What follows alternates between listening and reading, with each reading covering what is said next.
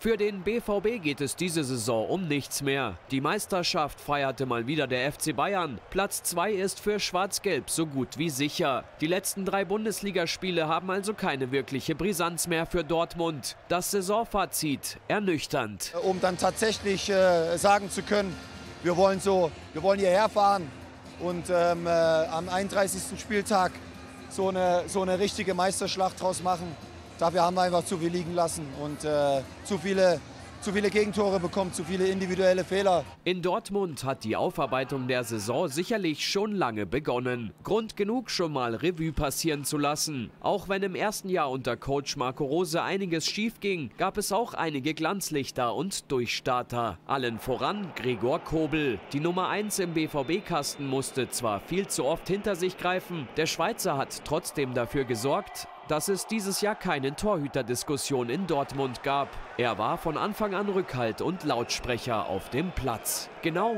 wie Jude Bellingham. In seinem zweiten Jahr beim BVB zeigte er wie gewohnt konstant gute Leistungen und hat sich mit immer noch erst 18 Jahren zum absoluten Führungsspieler und Aggressive Leader entwickelt. Auch die Entwicklung von Marius Wolf zeigt nach oben. Kurz vor Transferschluss im Sommer gab es noch Gerüchte um einen Abgang. Inzwischen findet sich der Außenstürmer aber regelmäßig in der Startelf wieder. Besonders seine Flexibilität weiß Coach Rose zu schätzen. Ein absolutes Highlight war der Auftritt von Youngster Tom Rote. Der 17-Jährige durfte gleich bei seinem Bundesliga-Debüt von Anfang an ran und machte dann auch gleich noch sein Debüt-Tor und ist damit der jüngste Spieler, der in seinem ersten Bundesligaspiel getroffen hat. Trotz titelloser Saison gab es also einige Höhepunkte beim BVB, auch wenn Trainer Marco Rose das anders sieht. Wir hatten eigentlich für mich als, als Trainer gefühlt neu in Dortmund nur ein Highlight-Spiel. Das war letztes Wochenende gegen Wolfsburg.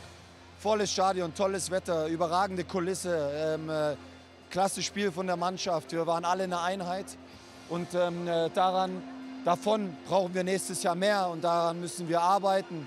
Vor allem muss der BVB aber wohl an seiner Konstanz arbeiten, um dem FC Bayern im nächsten Jahr endlich mal wieder gefährlich zu werden.